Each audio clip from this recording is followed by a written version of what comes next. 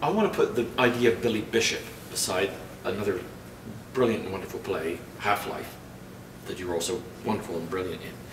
And I in Billy Bishop, I see the actor and I see the performer. I see the accents. I see the characters whipping out as you described them.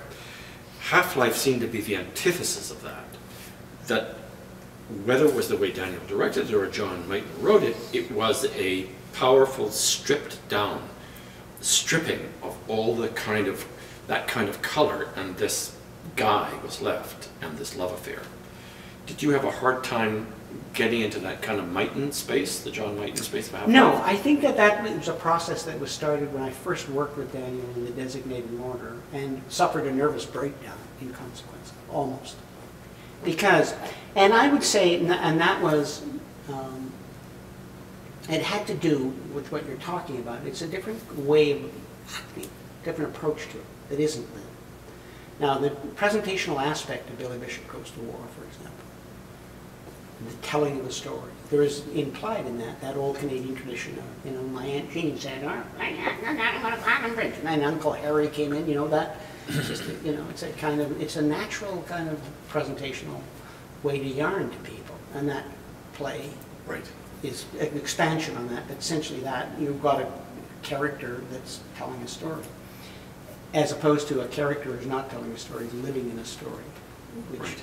And so, but I would think, like, there's Danny Brooks, and there's Jason Byrne I've talked about, um, um, McLaren, um, the Scottish director when I did Hamlet. Right. Again, a different, and in my later years as an actor, that's been my terror and my pain, but also so rewarding to learn or to be working with a, director that is, helps that way, or, and I, so Half-Life, and the same with the designated mourner, it would be Danny Brooks. If I hadn't been in that play with Daniel Brooks, I wouldn't have been able to act in that way, wouldn't have known about it, wouldn't have tried to do it. So what did Daniel say? How did he? I can't remember now, but again, he just, it couldn't be on this other level.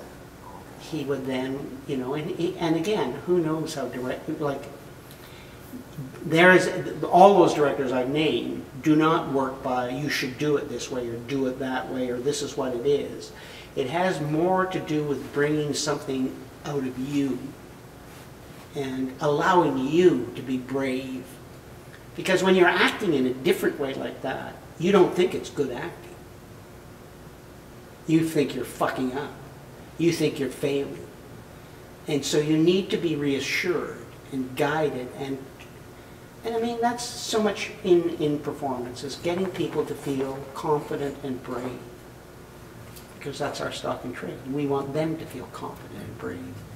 And again, I'm getting back to that. So, and lots of directors don't work that way at all. They, they, in fact, they, the opposite. I need you to stand in the doorway on that. Yeah, yeah. Can you come down to the yeah, table? on don't say it that way, or you're going, what the fuck? emphasize the end of the word there? You know, so all you're thinking about is what the director said. You're not, and so that this whole element of pretending in play gets gets stifled. It seems to me by these dictators, these fascists. You know, you know. And there's, I mean, and there's a lot of like. Then it's the audience. I want them to see it this way, and the kind of the ego behind that. They're like they're. You know, these all these little dictators about I will make them see and do and feel these things because I am a great director. Now, that's one way of directing, I'm sure, and there's a lot of it goes on. Have you worked with those directors? Yeah, I- you know, and, and always felt that I was. You never worked at Stratford. Did you work at Stratford? I did only once, tangentially. Uh, that was the um, Fellini radio plays, um, uh, directed by an Italian director. You never worked for Robin Phillips. No, You never worked for Michael Lang. no. You never I've worked heard for many those stories about directors, No, so and I've worked with many, many actors who have worked with those directors. Did you regret not having that part of your career? I'm sorry. I've always felt I dodged a bullet, to tell you the truth. I thought they may have, and they may be wonderful directors, and they may have had, the actors I know had wonderful experiences with them. But for me, every instinct in me says, I would have had a terrible time with them. Did your Because head I- say one thing and your gut say another? No, I mean, did I head go, well, I I- really would like to be in No. on stage, and inner voice going, no, no, no, no, leave, No, no. leave, leave, leave. No, that's pretty well enjoyed. I, for example, uh, McLaren doing Hamlet. Right. Now there was a way of doing Hamlet Right. that, that I got to use. You know, I could be. So the question is, does Eric regret not being involved in those classics in whatever way? Seems, Oh no, I, I don't. I don't- not in the way they did it. But again, but uh, you know, going from my we will make the plays out of the very kind of soil that I have here. And if no one has written them, we will. I will eat the soil, and out will come this. No, I've that's- gone from because you've got what you've got Glengarry Glen Ross here. Yeah. So I have come to the point to go, no, a good play, and it's been fun to play in these other plays as an just as an actor in that way, not a creator, not a collective, just trying to, but bringing who I am and a kind of Canadian experience, even though I'm trying to do a you know a Chicago accent or something like that, and I don't make it. And, but to do the classics or Shakespeare, I go for Christ's sake, no wonder they're around these plays. They don't have to be done in a certain way, but they're they're relevant because they were plays written and people haven't fucking changed. So they can be applied to us. And in fact, classics, we're dealing with themes that are very applicable and will always be applicable to the five stories that you talked about at one point, I think when I was interviewing you. But if Anthony Jim, Cimolino phoned you up in two months and said, Eric, we really want you to come down and play uh, whatever, Antonio or whatever his name in Measure for Measure, would you do it? Well, not, I, am not, not, I've never worked for Anthony Cimolino, and I don't, but if Chris Abraham, directing there, wanted me to do something, I would consider it. Because that's a director that I like to work, you know, that I can, my experience with him has been of this other, that there's something for me to, to learn from him, and that, that, I don't, I don't even, it's not even that. It's this, this is just a way of working that I feel comfortable in and therefore have the possibility of doing something well. And when, and another director, I go, I don't think I'm going to even get that possibility to do something well because I, I think I'm going to be too much at cross purposes or too intimidated or too insecure in that situation to work.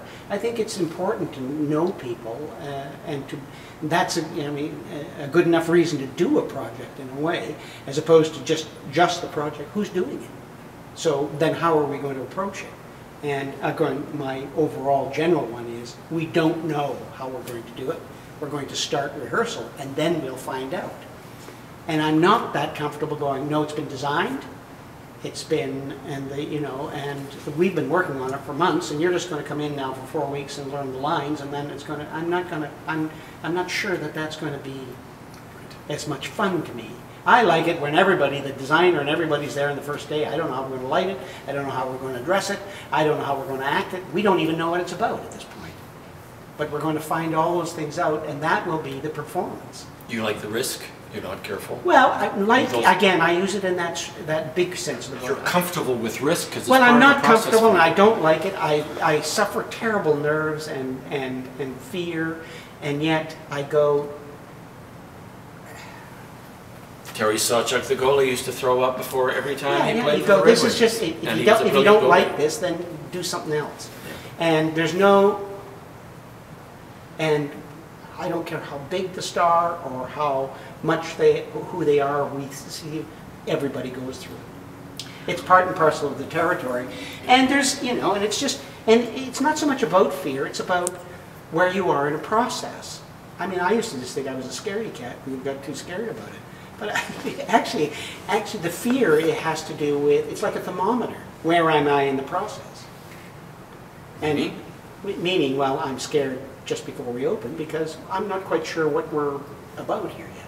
Right. And again, I would go that our rehearsal periods, especially in live theater, they get shorter and shorter. You go, geez, that's totally the wrong way to go. You want longer and longer. Because the longer and longer you go, the more this fear and this inhibiting fear of freezing and not, and people get to play imaginatively and be there and be strong and fat. And that's what we're after.